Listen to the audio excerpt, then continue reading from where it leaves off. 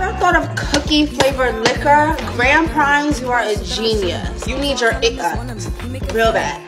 Hey guys, welcome back to my motherfucking YouTube channel, beach. I'm so excited I have that. I got a package from um, Drink Bakesale. They make cookie flavored liquor. And bitch, we gonna open it. Like, girl, what is there to say? Here she goes.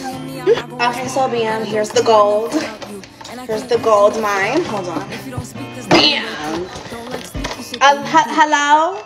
So this is the chocolate chip cookie liqueur. As you can see, it's big, so dairy free, gluten free, and they sent me a hell of a lot of shots. Oh, play with her! It's 1 p.m. and I'm gonna see if I can get drunk off these. So this is what it looks like.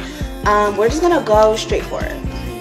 I'm gonna do a taste straight from the pack, then I'm gonna do combinations, and we're gonna see like what I like. So small chocolate, of course.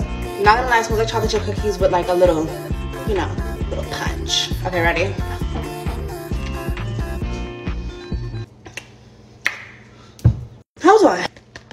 You was onto something, bitch. Not gonna lie, but it's obviously liquor, but it still has that little, you know, 33%.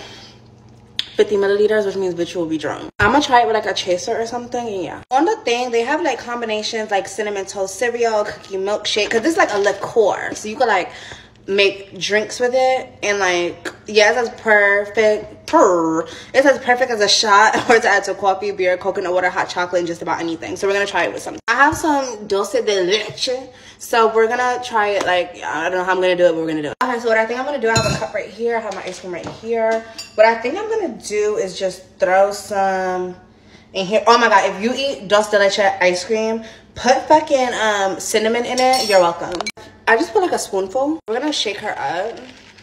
And then we're just gonna pour her in here with this. That's not the color I expected this to be. And that's a lot more than I thought. Hold on. So this is looking very like I should call him. So we're ready.